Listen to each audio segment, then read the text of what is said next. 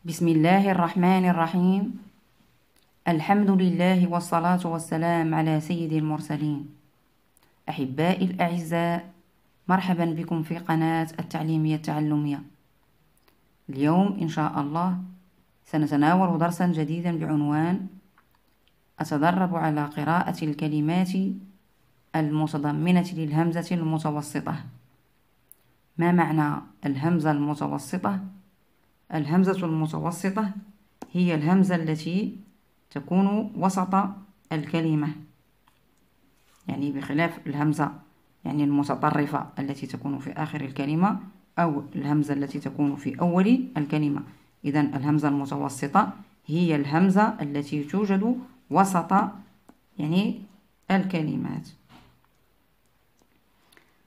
إذا عندما أريد أن أقرأ هذه الكلمات مثلا الهمزة فوق الواو فإنني أقرأ الهمزة مع حركتها بغض النظر عن الواو أو الألف.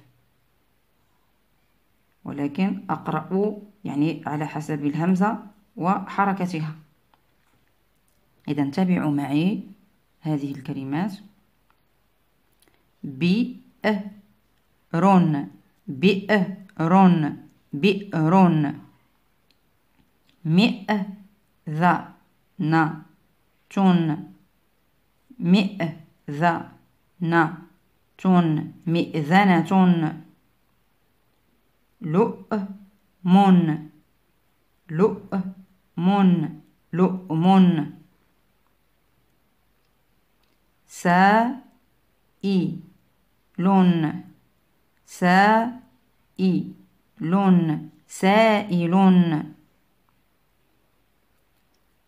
لون سائي لون سائل بؤرة بؤرة بؤرة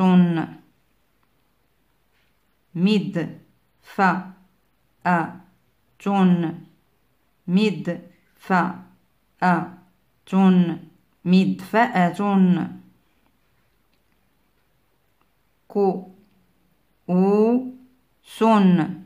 كو أو سن. كؤوس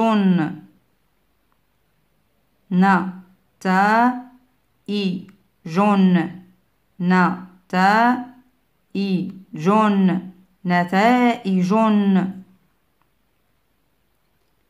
رأ ف جن. رأ ف جن. رأفة مر أ مرأة مرأة فأ سن فأ سن فأس تا فا أو لن تا فا أو لن تفاؤل بالنسبة للحرف الساكن سواء سواء كان همزة أم حرفا آخر فإنه يقرأ مع الحرف المتحرك قبله. دائما الحرف الساكن يقرأ مع الحرف المتحرك قبله. بئ مئ لؤ بؤ مد. رأ مر فأ دائما الحرف الساكن يعني يقرأ مع الحرف المتحرك قبله ولا يقرأ الحرف الساكن وحده مستقلا بل دائما يقرأ مع الحرف المتحرك قبله لأنه معه يشكل مقطعا صوتيا واحدا. إذا أعيد معي قراءة الكلمات. بئر مئذنة. لؤم سائل. بؤرة مدفأة.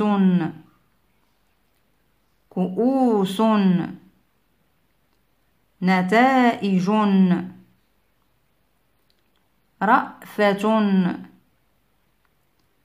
مرأة. فأس تفاؤل وبهذا نكون قد أنهينا درسنا هذا وإلى درس جديد بحول الله. والسلام عليكم ورحمة الله تعالى وبركاته.